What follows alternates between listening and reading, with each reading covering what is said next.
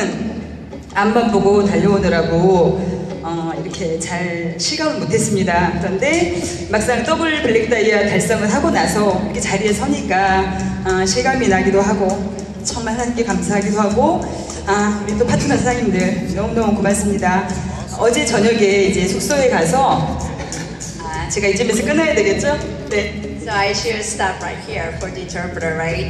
Uh, first, the, my uh, thanks goes to my Lord, and all the glory goes to my Lord. Uh, thank you so much for making it possible for me to be here. And I been working so 소감을 생각하다 보면은 NHR이 떠오르고 또 시상 소감을 얘기하다 보면 NHR이 떠오르고 머리가 하얘져 버린 거예요.